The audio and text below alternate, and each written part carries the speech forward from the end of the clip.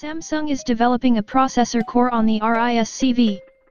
The South Korean giant Samsung, according to network sources, designs its own cores for microchips, designed to be used in wearable gadgets and IoT devices.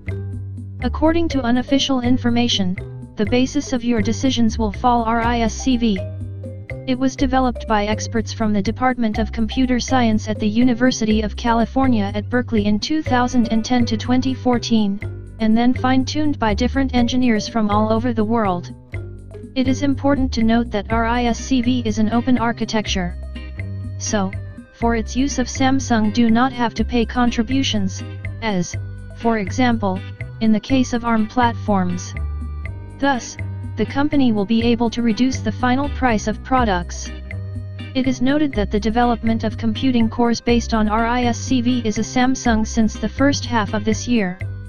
It is assumed that the number of transistors does not exceed 20,000 thus, according to the energy efficiency of new kernel can be compared to the ARM Cortex-M0.